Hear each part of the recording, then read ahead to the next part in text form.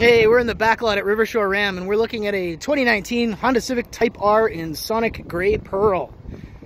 This was a new color option for 2019. Kind of like it. Gets just a little bit of shimmer when it's in the light, uh, but when it's like dusk or night, it looks gray. Like a lot of Hondas, it has all the uh, driver assistance and safety features that you come to expect from them. Big old wing on the back to keep the rear end in check one thing this car has that other Hondas don't is 306 horsepower, but if you drive it conservatively, you're not going to hurt yourself or others around you, so that's nice. I was reading a Car and Driver magazine article on this thing, and they were complaining that the exhaust note isn't loud enough. I disagree with that. It's plenty loud. Under the hood, scooting you down the road, 2 liter inline 4 cylinder with a turbocharger on it. 306 factory rated horsepower, or so they say. Maybe they sandbagged it like the Volkswagen did with the Type R and the GTI.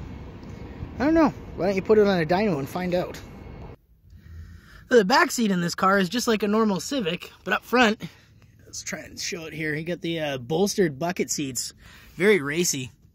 Oh, your steering wheel mounted audio controls, your infotainment system.